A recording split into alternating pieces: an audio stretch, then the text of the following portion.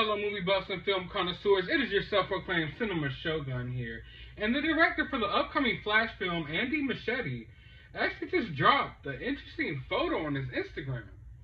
So I go over here and look at it, and this obviously got to be the Michael Keaton Batman suit.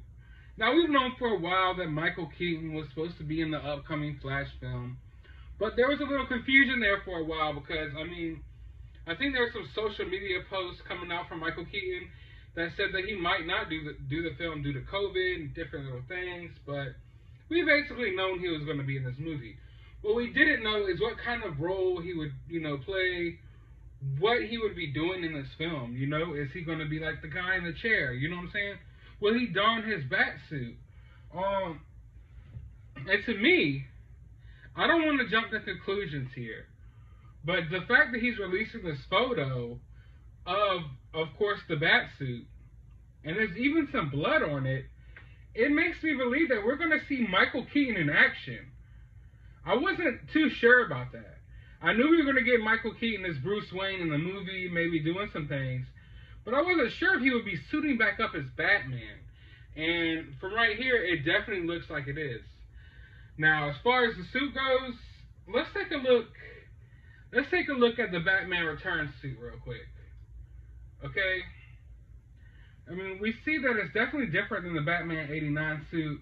I think the Batman Returns suit looks a little more armorish, but you can still see there's problems with the, the cowl right there. You know, he can't get much neck movement, although it's a little bit of an improvement from the 1989 um, suit as far as the neck movement goes. Um, but this new suit looks a little more metallic. Let's take a look at the um, 1989 suit as well. Let's see if we can spot some differences here. Definitely, definitely some differences. I mean, the bat looks, the bat to me definitely looks more Batman Returns ish. Well, let me let's go back home time. Yeah, definitely Batman Returns this on the bat. But I mean, this suit looks a little bit more metallic to me or something, a little more armorish. So are we gonna see an armored Michael Keaton Batman? I don't know. It almost looks like there's like kind of like rust and weathering on the suit. I mean, I know the suit's probably old. Maybe he dug it out of the closet, but this kind of looks like something a little more metallic to me. Now, so I mean, there's not really much to really go on here, but I mean, I'm digging it. I'm digging the fact that we're gonna get that retro suit. It's been a while since we've seen like a Batman in color, like the yellow. I've always loved that. I've always loved the yellow backdrop with the Batman symbol in front. Um, but I don't know. I, this doesn't really get me too hyped, simply because we know that the Flash has just been a development hell.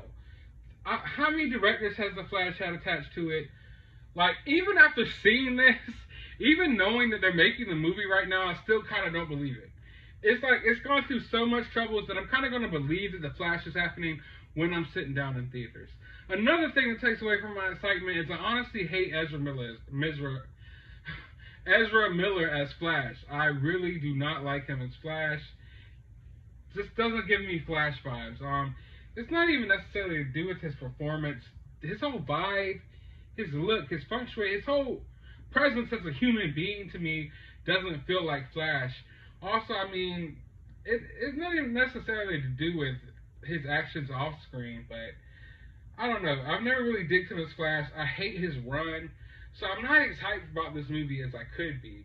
I mean, we got Michael Keaton coming back as freaking Batman, and I'm still sitting here like, I don't know. I can't get my hopes up for it. I mean, at the same time, we have the new Spider-Man sequel coming out, and we know that Tobey Maguire is coming back for that.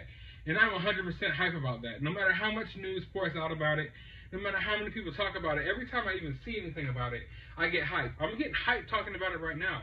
But I can't get hyped for this because DC just lets me down so much with their films. I get let down so much. I already hate Ezra Miller. Andy Muschietti is a, is a fine filmmaker. I don't got a, a problem with him, but he's like the 10th filmmaker attached to this movie. And I don't know if it's going to be kind of forced. I see blood right here on the bat symbol, and I don't need my Batman killing people. Once again, I don't know if they can really land the Batman vibe. I don't know. I'm really kind of scared. I'm honestly kind of scared about this movie. But we'll see. I mean, supposedly it's supposed to be Flashpoint. Supposedly it's supposed to reset the whole DCEU. Let's get some new characters in there and whatnot. replace some of the old actors, but it's like I'm not sure. I'm not sure. I, I know that it can be great. If they do it right, it will be great. And regardless, I'm so happy to see Michael Keaton back as Batman. But my excitement just can't get there because I have, like, I don't have faith in DC films. Like, they've just let me down too much as of late. But we'll see. We'll see. I'm glad that we're getting the retro suit. And I mean, it, even as I sit here and I just look at it more and more, and I really think back to like growing up watching the Batman Returns and stuff, I'm kind of like I'm kind of I'm kind of brewing some hypeness in my in my belly right now. Maybe maybe I will be a little bit more hyper by the time this movie comes out. Like if, if you show me a trailer of Michael Keaton whooping ass in the bat suit at his age, then maybe I know. Not even maybe. Then my excitement level will get there. But so far, I like what I see of the suit. I want to know what you guys think. Let me know down in the comments below. While you're down there, hit that thumbs up button and hit that subscribe button. And as always, I want you to find some time out of your day to go watch a movie. Maybe Batman Returns, because that is the best Batman movie ever.